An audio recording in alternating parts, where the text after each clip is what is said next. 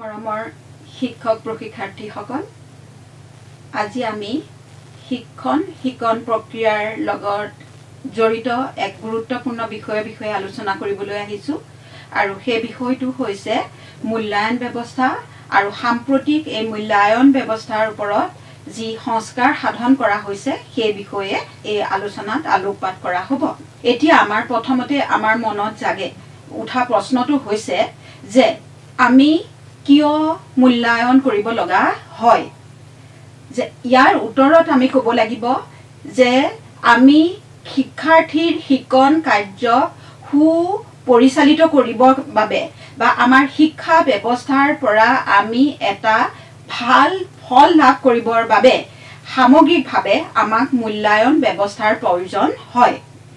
এই পাঠৰ পৰা শিক্ষক প্ৰশিক্ষাৰ্থীসকলে তেওঁলোকে মূল্যায়ন সম্পৰ্কীয় জ্ঞানৰ লগতে ইয়াৰ লগত জড়িত কৌশল মূল্যায়ন ব্যৱস্থাৰ প্ৰতি তেওঁলোকৰ এটা ধনাত্মক মনোভাৱ আৰু ইয়াৰ লগত জড়িত দক্ষতাসমূহৰ বিষয়ে কিছু আভাস পাব পাৰিব।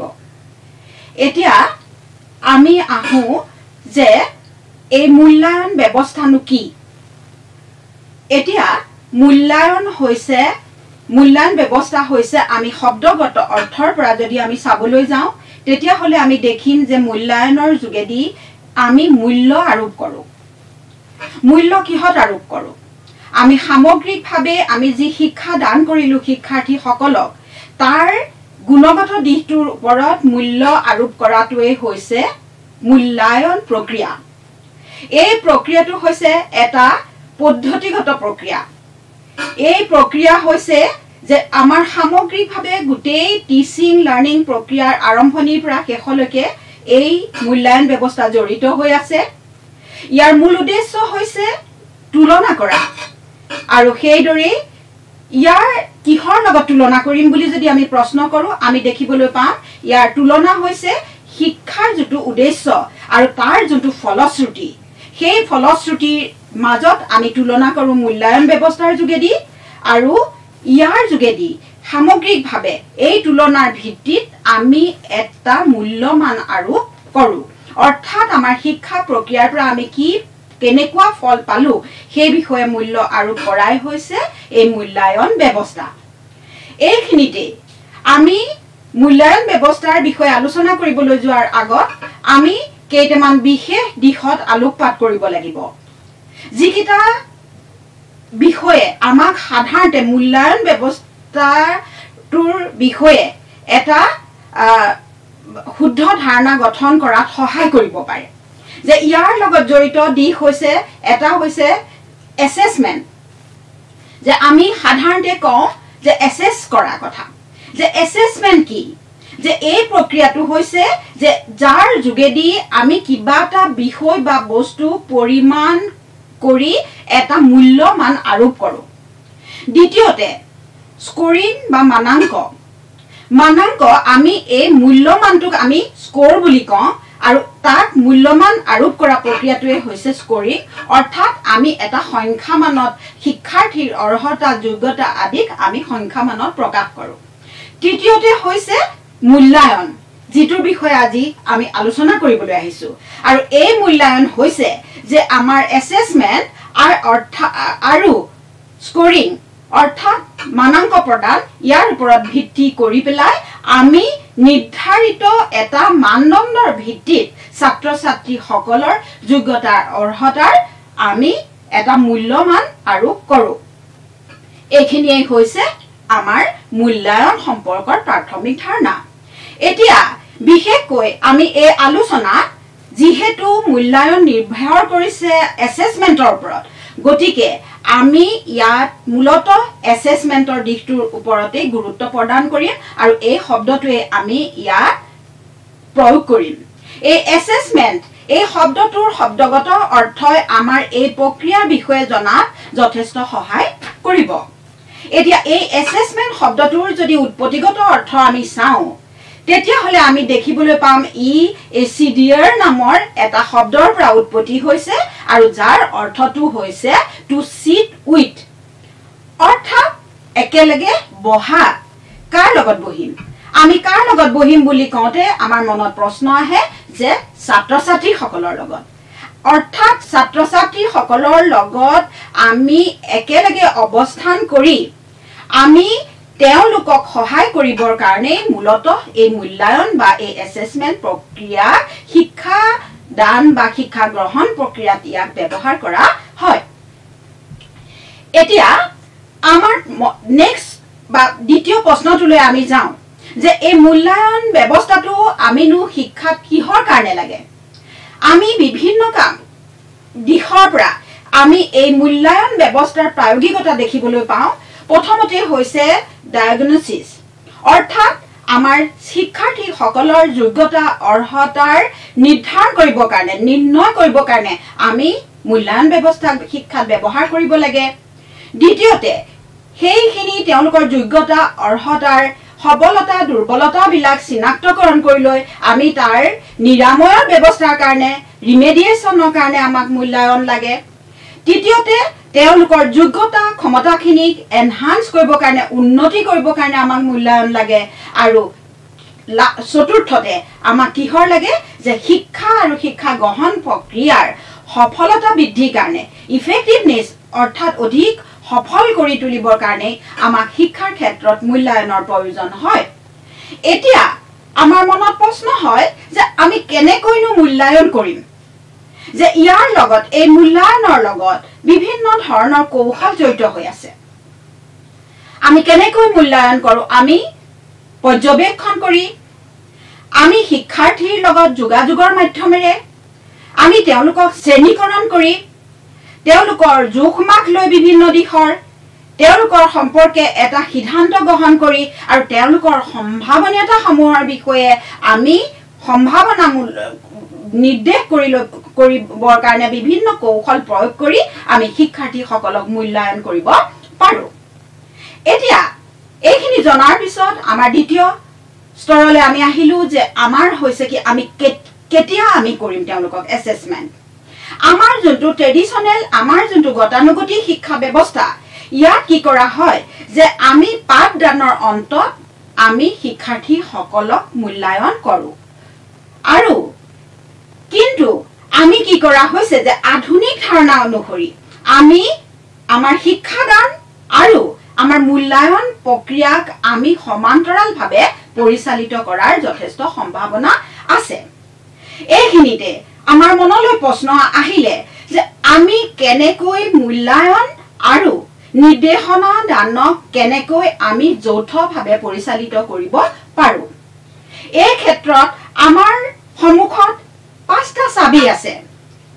যে প্ৰথমতে হৈছে আমি কোৱালিটি এছেচমেণ্ট যোনটো কওঁ আমি গুণগত মূল্যায়ন। মূল্যায়ন কৰিলেই নহ'ব গুণগত মূল্যায়ন।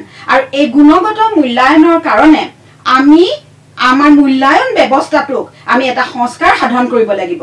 আৰু এই সংস্কাৰ সাধন কৰিবলৈ যাওঁতে আমাৰ হাতত পাঁচটা চাবি কাঠি আছে। এই প্ৰথমটো হৈছে আমি মূল্যায়ন কৰিব লাগিব উদ্দেশ্যৰ পৰিপ্ৰেক্ষিতত। আমি শিক্ষা কি উদ্দেশ্যৰে দিছো তাৰ ওপৰত ভিত্তি কৰি লৈ আমি কি কৰিব লাগিব মূল্যায়ন কৰিব লাগিব। দ্বিতীয়তে আমাৰ আমি টাৰ্গেটটো আমাৰ লক্ষ্য আমাৰ গ'ল সেইটো আমি নিৰ্ধাৰণ কৰি ল'ব লাগিব।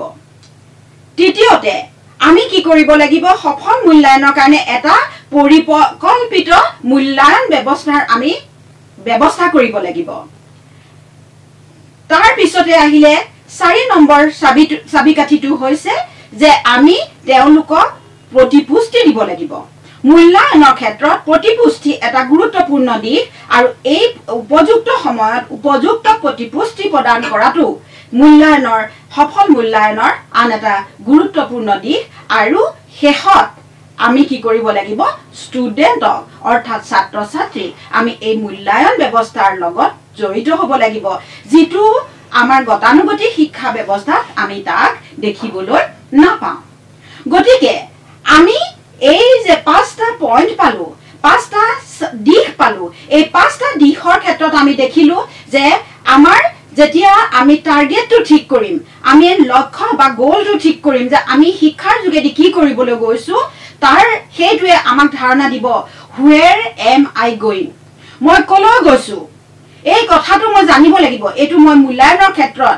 মোৰ সেই দিশটো বা এজন শিক্ষক হিচাপে প্ৰত্যেকজন শিক্ষকৰে সেই দিশটোৰ এটা স্পষ্ট ধাৰণা থাকিব লাগিব। আৰু যেতিয়া তেওঁলোকক ফিডবেক দিবলৈ গৈছে প্ৰতিপুষ্টি দিবলৈ গৈছে তেতিয়া এটা কথা জানিব লাগিব যে মই ক'ত পালোহি?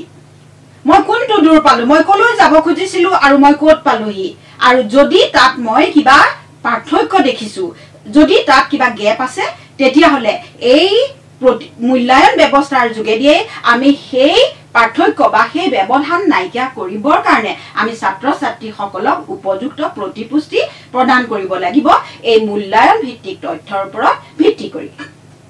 এতিয়া এই দিশটোৰ ওপৰত ভিত্তি কৰিয়ে বৰ্তমান আমি দেখিছো যে আধুনিক যোনটো শিক্ষা ব্যৱস্থা গতানুগতিক শিক্ষা ব্যৱস্থাৰ পৰিৱৰ্তে আধুনিক যি শিক্ষা ব্যৱস্থাৰ বৰ্তমান প্ৰচলন কৰা হৈছে এই শিক্ষা ব্যৱস্থাত আমি মূল্যায়ন ব্যৱস্থাৰ ক্ষেত্ৰত এটা পৰিৱৰ্তন দেখিবলৈ পাইছো। আগতে আমাৰ কি আছিলে যে আমি মূল্যায়ন ব্যৱস্থাত আমি নিৰ্ধাৰিত ছাত্ৰ ছাত্ৰীক সামৰি লৈছিলো। সেই সময়ত মূল্যায়ন আছিলে বা আমি যোনটো গ্ৰেডিং বা মাৰ্কিং যি যি ছিষ্টেম আছিলে সেইবিলাক আছিলে নিৰ্ধাৰিত ছাত্ৰ ছাত্ৰীসকলৰ কাৰণে। যিসকলে দক্ষতা অৰ্জন কৰিছে যোগ্যতা অৰ্জন কৰিছে তেওঁলোকৰ বাবে। কিন্তু আৰু তেওঁলোকৰ কি কৰা হৈছিলে যে তেওঁলোকৰ যোনটো বাকী অংশ যোনে অৰ্হতা জুখি লাভ কৰিব পৰা নাই বা যোগ্যতা লাভ কৰিব পৰা নাই তেওঁলোকক কিন্তু জোখাৰ কোনো ব্যৱস্থা তাত নাছিলে। আৰু সাধাৰণতে তেওঁলোকক আমি কেনেকৈ জুখিছিলো? তেওঁলোকে কি ৰেংক পালে? তাৰ ওপৰত ভিত্তি কৰিয়ে আমি তেওঁলোকক যোগ্যতা জুখিছিলো। কিন্তু বৰ্তমান যোনটো নতুন ধাৰণা মূল্যায়নৰ যিটো নতুন ধাৰণা এইটো সেই সীমিত সংখ্যক ল'ৰা ছোৱালীৰ কাৰণে নহয় এই মূল্যায়নৰ ধাৰণাত আমি যি মূল্যায়ন ব্যৱস্থা প্ৰৱৰ্তনৰ কথা ব্যৱস্থা কৰা হৈছে তাত কি কৰা হৈছে সকলো ছাত্ৰ ছাত্ৰীকে তাত সাঙুৰি লোৱা হৈছে। আৰু ইয়াত উদ্দেশ্য নহয়। তেওঁলোকে কি ৰেংক পালে কি স্থান পালে সেইটো ইয়াত উদ্দেশ্য নহয়। তেওঁলোকে শিক্ষণীয় বিষয়ত কিমান দক্ষতা অৰ্জন কৰিব পাৰিলে তাৰ ওপৰতহে বৰ্তমান মূল্যায়ন ব্যৱস্থাত গুৰুত্ব প্ৰদান কৰা হয়। এতিয়া আমাৰ আকৌ আমি প্ৰশ্ন যদি কৰো যে কিহৰ কাৰণেনো এই পৰিৱৰ্তনটোৰ কথা আমি চিন্তা কৰিব লগা হল? এতিয়া সাধাৰণতে কি কৰা হৈছে যে এই পৰিৱৰ্তনৰ গুৰিতে আছে। আমি কি কৰা হৈছে যে আমি ল'ৰা ছোৱালীক ৰেংকিং কৰি ৰেংকিং কৰি বা তেওঁলোকৰ মাজত থকা পাৰ্থক্য দেখুৱাবৰ কাৰণে আমাক মূল্যায়ন নালাগে। আমি কিছুমান ল'ৰা ছোৱালীক আমি বেছি গুৰুত্ব দি কিছুমানক যোনখিনিয়ে যোগ্যতা অৰ্জন কৰিব পৰা নাই তেওঁলোকক আমি আওহতীয়াকে থবৰ কাৰণে আমি শিক্ষা দিয়া নাইকিয়া। এতিয়া কি কৰা হৈছে যে আমি সকলো ল'ৰা ছোৱালীক আমি সমানে শিক্ষাদানৰ আমাৰ যোগ্যতা থাকিব লাগিব। সকলোৰে যোগ্যতা আছে। যদি শিক্ষকসকলে তেওঁলোকৰ নিৰ্ধাৰিত পদ্ধতিগত দিশটোৰ পৰিৱৰ্তন কৰে তেওঁলোকে সকলো ল'ৰা ছোৱালীকেই সমানে আগুৱাই নিব পাৰিব। সেইকাৰণে বৰ্তমান কিহৰ ওপৰত গুৰুত্ব দিয়া হয়? মাষ্টাৰী লাৰ্ণিং যোনটো যে দক্ষতা সকলোৰে দক্ষতা অৰ্জন কৰিব পাৰে। আমি এই মূল্যায়নৰ ওপৰত ভিত্তি কৰি তেওঁলোকৰ সবলতা দুৰ্বলতাক চিনাক্তকৰণ কৰি আমি আগবঢ়াই লৈ যাব লাগিব। দ্বিতীয়তে হৈছে যে এইটোৰ যোনটো আমাৰ বৰ্তমান যোনটো চিট যোনটো পৰিৱৰ্তন হৈছে আমাৰ মূল্যায়নৰ ক্ষেত্ৰত তাৰ গুৰিতে আছে গৱেষণালব্ধ জ্ঞান। এই বিষয়ত বৰ্তমান এই মূল্যায়ন সম্পৰ্কীয় যে এই মূল্যায়ন অকল এটা বাৰ্ষিক এটা নীতি নিয়মৰ আবদ্ধ হৈ থকা নাই। বৰ্তমান হৈছে যে এই মূল্যায়ন ব্যৱস্থা এক গৱেষণাৰ ভিত্তি হৈছে। আৰু এই গৱেষণালব্ধ জ্ঞানৰ ওপৰত ভিত্তি কৰি লৈ বৰ্তমান মূল্যায়ন ব্যৱস্থাৰ বিভিন্ন ধৰণৰ এই উন্নত কৌশলবিলাক আৱিষ্কাৰ কৰা হৈছে। এতিয়া সেই যে চিফটো বা এই পৰিৱৰ্তনৰ ফলত আমি কি দেখিবলৈ পাইছো? আমাৰ আগতে কি আছিলে আৰু বৰ্তমান আমি কি পৰিৱৰ্তন দেখিবলৈ পাইছো? যে আগতে আমি কি আছিলে? যে আগতে আছিলে যে আমাৰ শিক্ষা আছিলে যে আমাৰ মূল্যায়নৰ উদ্দেশ্য আছিলে কি? যে আমি এছেছ কৰোঁ ল'ৰা ছোৱালীক তেওঁলোকে কি শিকিলে? যে from assessing to learn what student do not know' আমি কি কৰোঁ তেওঁলোকে কি নাজানে? সেইটো জুখিবৰ কাৰণে আমি মূল্যায়ন ব্যৱস্থাক পৰিচালিত কৰিছিলো। কিন্তু বৰ্তমান আমি কি কৰিছো? যে বৰ্তমান শিক্ষা ব্যৱস্থাত আমি কিহৰ কাৰণে মূল্যায়ন পৰিচালনা কৰো? তেওঁলোকে কি বুজিলে? দ্বিতীয়তে আমি কি কৰো যে ফৰ ইউজিং আমি এছেচমেণ্ট বা মূল্যায়নক আমি ব্যৱহাৰ কৰো তেওঁলোকক ৰিজাল্টটো দিবৰ কাৰণে তেওঁলোকক গ্ৰেড দিবৰ কাৰণে। কিন্তু বৰ্তমান আমি কি কৰো যে আমি মূল্যায়ন ব্যৱহাৰ কৰো আমি নিৰ্দেশনা দান প্ৰক্ৰিয়াটোক আমি কেনেকৈ উন্নত কৰিব পাৰো কেনেকৈ মই ছাত্ৰসকলৰ সকলো ছাত্ৰ সমানে শিকিব পৰাকৈ আগবঢ়াই লৈ যাব পাৰো। তাৰ কাৰণে নিৰ্দেশনা প্ৰক্ৰিয়া উন্নত কৰিবৰ কাৰণে আমি বৰ্তমান কি কৰো মূল্যায়ন কৰো। তৃতীয় চিট বা দ্বিতীয় পৰিৱৰ্তনটো আমি দেখিছো যে আমি ল'ৰা ছোৱালীক কেনে কেতিয়া কৰিছিলো এছেচমেণ্ট শেষত ছমহীয়া পৰীক্ষা বছৰেকীয়া পৰীক্ষা। কিন্তু এতিয়া কি হৈছে আধুনিক ধাৰণা অনুযায়ী মূল্যায়ন হৈছে এটা অনগয়িং প্ৰচেছ অৰ্থাৎ এইটো এটা অবিৰতভাৱে চলি থকা প্ৰক্ৰিয়া। আৰু চতুৰ্থতে আমি কি কৰিছো যে আমি ইয়াত কি কৰো জাজমেণ্ট এণ্ড ফিডবেক দিবৰ কাৰণে। দেট আমি কি কৰিছো ষ্টুডেণ্টক মটিভেট কৰিবৰ কাৰণে। এতিয়া আমি যোনটো মূল্যায়ন ব্যৱস্থাৰ প্ৰৱৰ্তন কৰা হৈছে ইয়াত কি কৰা হৈছে যে তাত আমি জাজমেণ্টেল ফিডবেক দিয়াৰ ব্যৱস্থা কৰা নাই। আমি পুৰণা শিক্ষা ব্যৱস্থাত আমি জাজমেণ্টেল যে তেওঁলোকক জাজমেণ্ট দিলো। যে তেওঁলোক ভাল বেয়া এনেধৰণে আমি তেওঁলোকক এটা ফিডবেক দিছিলো। যিটোৱে তেওঁলোকক কি কৰে তেওঁলোকক অভিৰোচনত যে মই বেয়া। এই কথাটো তেওঁলোকৰ মনত আহে গতিকে তেওঁলোকক মটিভেশ্যন বা অভিৰোচনৰ ক্ষেত্ৰত বাধাৰ সৃষ্টি কৰে।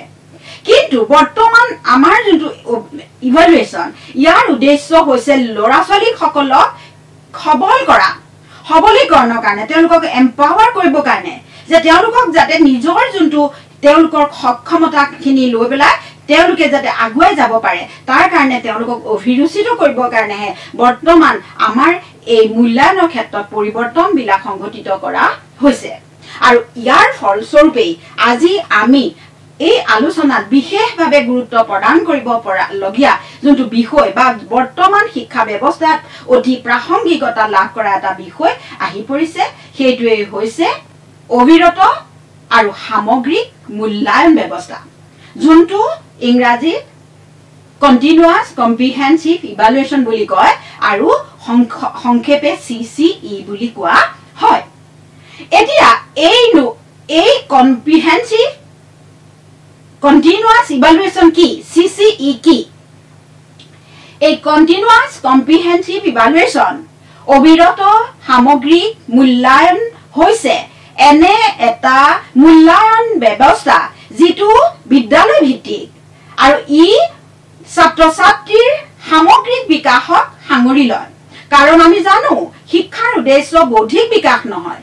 শিক্ষা হৈছে ব্যক্তিত্বৰ পৰিপূৰ্ণ বিকাশ আৰু শিক্ষাৰ সেই লক্ষ্য বা উদ্দেশ্যৰ প্ৰতি লক্ষ্য ৰাখি পেলাই এই কম্প্ৰিহেনচিভ বা কণ্টিনিউৱাছ ইভালুৱেশ্যনত কি কৰা হয়? সামগ্ৰিক বিকাশ কৰা হয় আৰু এইটো হৈছে সম্পূৰ্ণ বিদ্যালয় নিৰ্ভৰ এক মূল্যায়ন ব্যৱস্থা। আৰু সাধাৰণতে ইয়াত কি কৰা হয়? দুটা দিশৰ ওপৰত গুৰুত্ব দিয়া হয় দুটা উদ্দেশ্যৰ ওপৰত গুৰুত্ব দিয়া হয়। এটা হৈছে অবিৰত মূল্যায়ন ব্যৱস্থা। আমি গতানুগতিক শিক্ষা ব্যৱস্থাত যেনেকে আমি ৰৈ থাকিব লাগিছিলে ছমাহ ছমাহ বা এবছৰৰ কাৰণে আমি মূল্যায়নলৈ ৰৈ নাথাকি ইয়াত কি কৰা হয়? অবিৰতভাৱে আমি নিৰ্দেশনা দানৰ লগতেই আমাৰ মূল্যায়ন ব্যৱস্থা পৰিচালিত কৰা হয় আৰু দ্বিতীয়তে কি কৰা হয়? ইয়াৰ যোনটো আচৰণমূলক ফলশ্ৰুতি তাৰ পৰা তেওঁলোকৰ যোনটো আমি শিক্ষাৰ যোনটো আচৰণমূলক ফলশ্ৰুতি যে তেওঁলোকৰ শিক্ষাৰ দ্বাৰা আমি যিখিনি বিহেভিয়াৰেল চেঞ্জ আচৰণমূলক পৰিৱৰ্তন আমি আনিবলৈ বিচাৰিছিলো। সেইখিনিক আমি সামগ্ৰিকভাৱে বিচাৰ কৰাৰ ওপৰত এই চি চি ই বা অবিৰত সামগ্ৰিক মূল্যায়ন ব্যৱস্থাত গুৰুত্ব প্ৰদান কৰা হয়। এতিয়া আমি আহো যে এই ব্যৱস্থাৰ যে প্ৰায়োগিকতা কি বা ইয়াৰ প্ৰাসংগিকতা কি। আমি এই ক্ষেত্ৰত আমি ক'ব লাগিব যে আমাৰ যোনটো এই একৈশ শতিকাত আমি ছাত্ৰ ছাত্ৰীৰ বৌদ্ধিক মূল্যায়নৰ যোগেদিয়েই তেওঁলোকৰ সকলো দক্ষতা আমি জুখিব নোৱাৰো। আমাৰ কি কৰা হৈছে? গতানুগতিক শিক্ষাত বা আমাৰ যোনটো গতানুগতিক পৰীক্ষা ব্যৱস্থাত তেওঁলোকৰ যোনটো স্কলাষ্টিক বিদ্যায়তনিক দিশটোৰ ওপৰত বা তেওঁলোকৰ অকল শৈক্ষিক বা বৌদ্ধিক দিশটোৰ ওপৰতে ইয়াত গুৰুত্ব দিয়া হয় বাকীবিলাক আমি যিটো শিক্ষাৰ যোনটো লক্ষ্য বা উদ্দেশ্যৰ কথা সৰ্বাংগীন বিকাশৰ দিশটো ইয়াত কেতিয়াও বিবেচনা কৰাৰ সুবিধা নাথাকে। দ্বিতীয়তে যে total ability of the learner আমি কেতিয়াও কি কৰিব নোৱাৰো?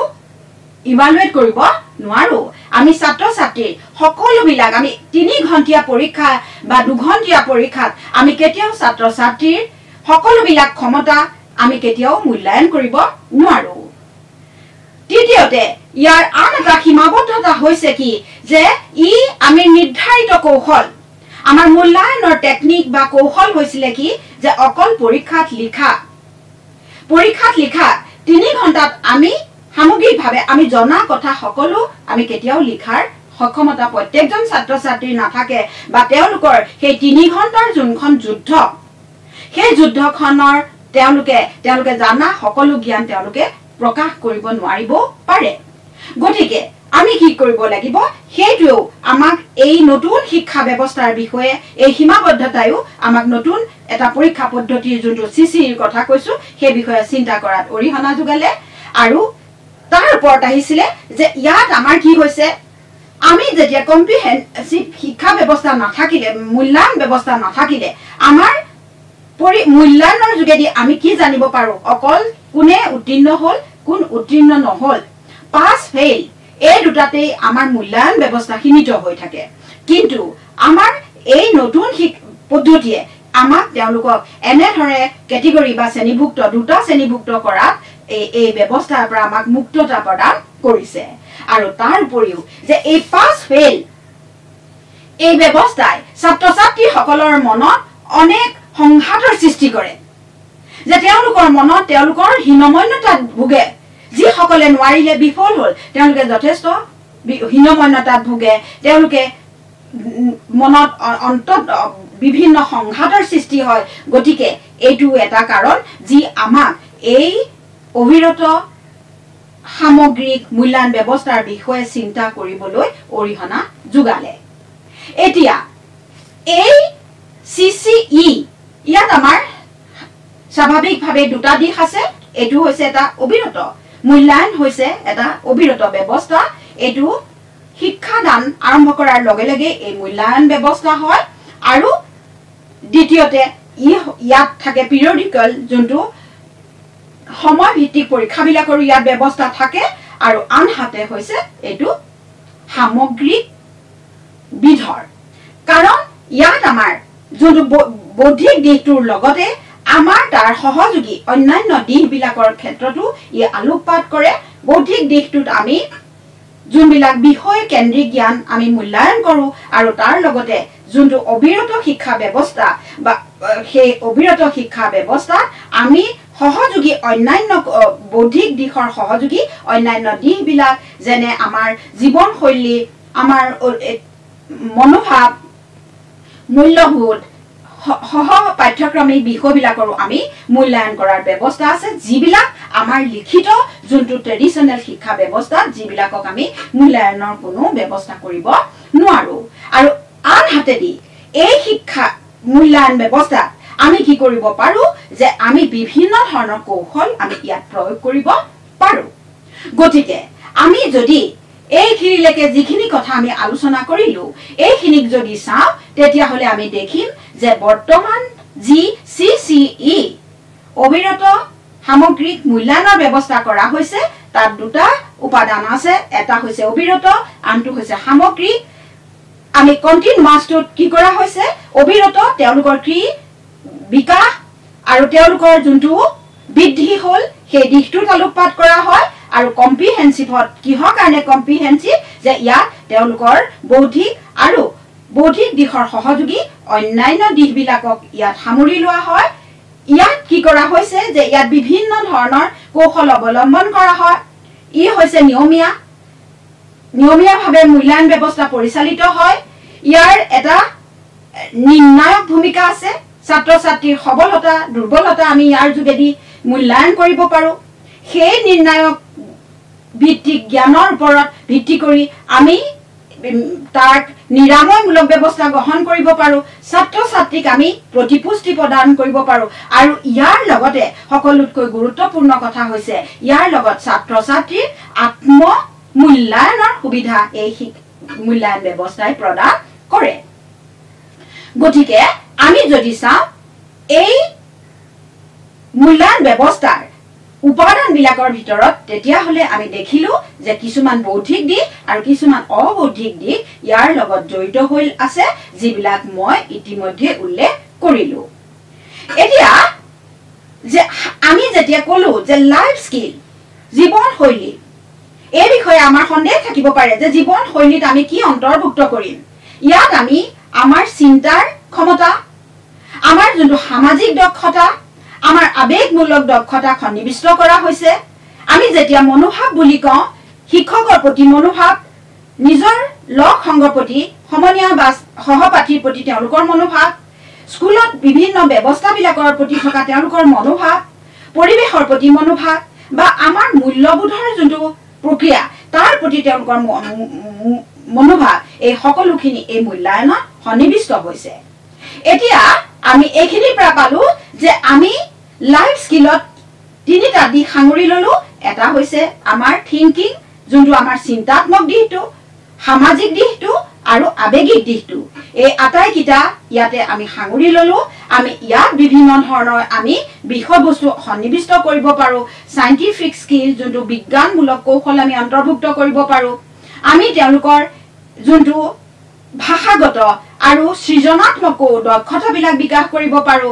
তেওঁলোকৰ সৌন্দৰ্যমূলক বা তেওঁলোকৰ যোনটো প্ৰদৰ্শনমূলক দক্ষতা আমি পৰিমাপন কৰিব পাৰো আৰু তাৰ যোগেদি আমি সামাজিক দিশটো জুখিবৰ কাৰণে আমি বিভিন্ন ক্লাব আদি পাতি ছাত্ৰ ছাত্ৰীক মূল্যায়ন কৰিব পাৰো। তেনেধৰণে আমি থিংকিং এবিলিটিটোৰ বা থিংকিঙৰ দক্ষতাটো জুখিবৰ কাৰণে আমি কি কৰিব পাৰো? তেওঁলোকক যোনটো তেওঁলোকৰ কল্পনামূলক দিশটো কল্পনাৰ যাতে তেওঁলোকে প্ৰয়োগ কৰিব পাৰে শক্তিক প্ৰয়োগ কৰিব পাৰে তাৰ কাৰণে আমি তেওঁলোকক সুযোগ দিব পাৰো। তেওঁলোকক কি কৰিব পাৰো?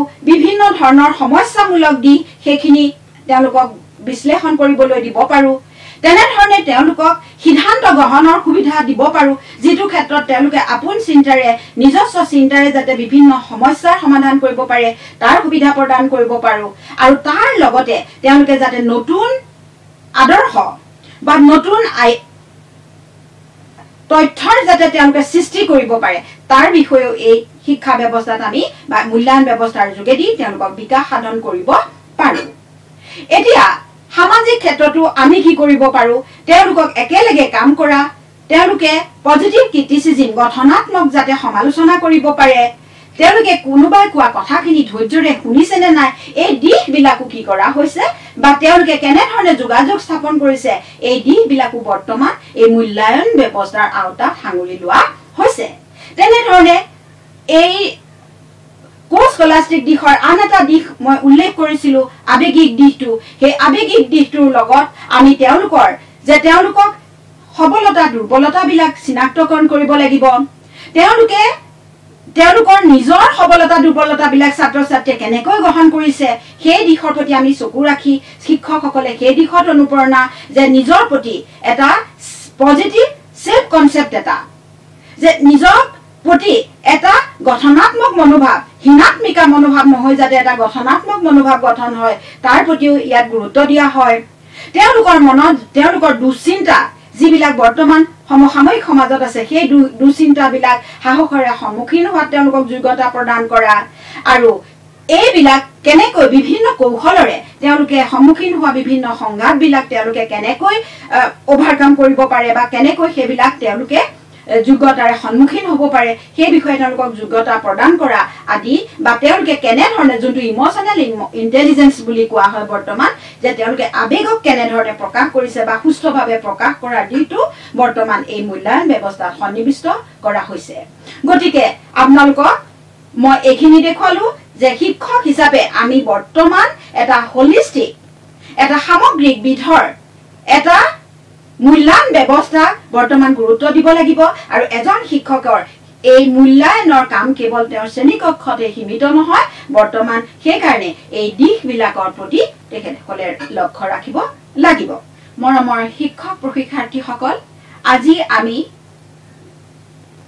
আমাৰ মূল্যায়ন ব্যৱস্থাত বৰ্তমান প্ৰৱৰ্তিত অবিৰত আৰু সামগ্ৰিক মূল্যায়ন ব্যৱস্থাৰ বিভিন্ন দিশবিলাকৰ বিষয়ে আমি আলোচনা কৰিলো আৰু আপোনালোকে নিশ্চয় এই বিষয়টোৰ গুৰুত্ব উপলব্ধি কৰিব পাৰিছে আৰু ইয়াৰ লগত জড়িত বিভিন্ন দক্ষতাসমূহৰ লগত আপোনালোকে নিশ্চয় পৰিচিতি লাভ কৰিলে আৰু এই ক্ষেত্ৰত